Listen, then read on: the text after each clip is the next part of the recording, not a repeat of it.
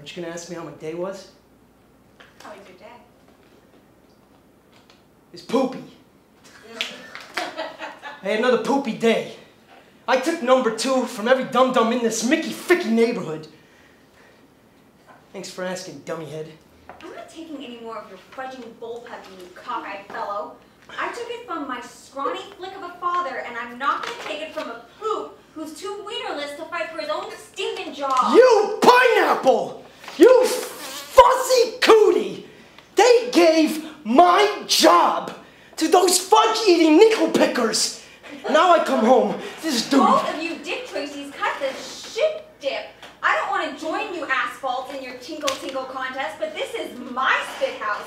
Even if it's a mess mess, and if you two fuzz sucking bozos can't uh, cut the doo doo, oh, turds, fudge stickle.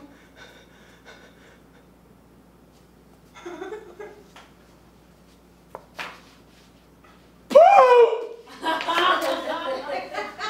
Poop! Poop! Poopy! Poop! Poop!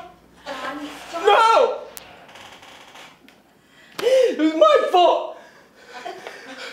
I killed the old fork and spoon raspberry!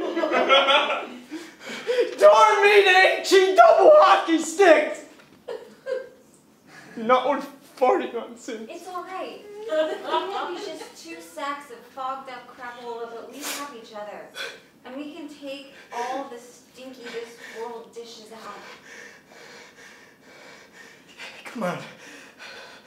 Just get milk faced and hum like bunnies.